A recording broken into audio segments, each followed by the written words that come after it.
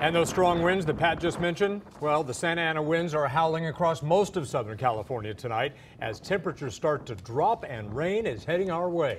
We have team coverage for you tonight, beginning with CBS 2's Jeff Nguyen. He's live in Lebec. Jeff. Well, I 5 is right behind me right now, and traffic has been pretty light over the last hour or so, perhaps because it is really cold in the high 30s right now and awfully windy. You can see how, because the movement of that tree right there.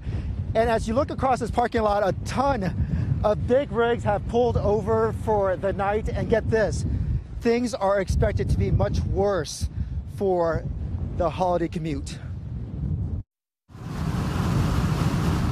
Listen to the wind roar as we headed up the grapevine tonight. A number of times we saw debris flying across the I 5. So did Sean Rosales and his wife Stephanie. Their car bears some of the evidence. There was a tumbleweed, like, it was huge, and uh, there was no way of avoiding it.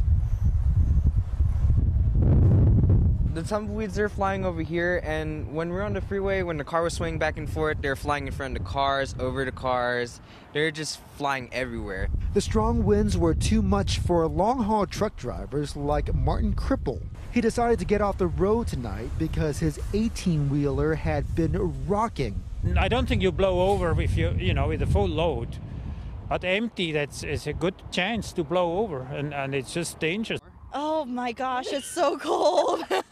the Ingraham family is going back to Sacramento. They decided to do a quick trip to Southern California before the holiday traffic jam.